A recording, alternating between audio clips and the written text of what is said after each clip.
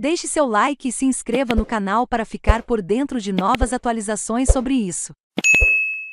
Pablo tem lesão no joelho em seu primeiro treino no Flamengo. Na manhã desta sexta-feira, 18, o Flamengo informou, através de nota oficial, que o recém-contratado Pablo sofreu uma lesão no ligamento colateral medial do joelho direito e já iniciou fase de tratamento. A lesão ocorreu durante uma dividida no treinamento de ontem, no CT George Elau, o popular ninho do Urubu. O rubro-negro não informou prazo para a recuperação total do zagueiro, mas lesões desse grau costumam durar um período de médio a longo prazo para que o atleta possa voltar às atividades com bola. A lesão, aliás, é bem parecida com a que o também zagueiro do clube, Gustavo Henrique, sofreu durante o Campeonato Carioca deste ano. Confira a nota oficial emitida pelo clube. No treino da última quinta-feira, 17, Pablo sofreu um trauma direto no joelho direito após uma dividida. O atleta realizou o exame que constatou uma lesão no ligamento colateral medial. Iniciou a fisioterapia. O Flamengo, portanto, adiará a estreia do jogador,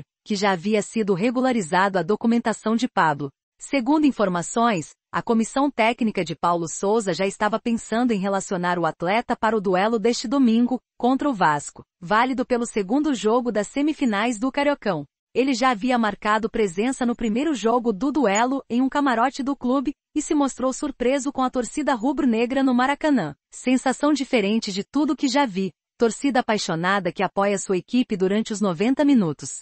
Barulho bem alto durante o jogo. Oportunidade de continuar carreira e fazer tudo que já fiz antes, mas com responsabilidade bem grande. Flamengo é mundialmente conhecido. Estou preparado. Pablo foi anunciado como o novo reforço do clube da Gávea ontem, 17, quando vestiu o manto rubro-negro e concedeu entrevista coletiva. No mesmo dia, quando já foi a campo para realizar as atividades de treinamento, acabou lesionando-se. O zagueiro chega do Lokomotiv de Moscou, da Rússia, pelo valor de 2,5 milhões de euros, cerca de 14 milhões de reais. O contrato firmado com o Mengão vai até 2025. Foto destaque. Pablo. Reprodução Twitter.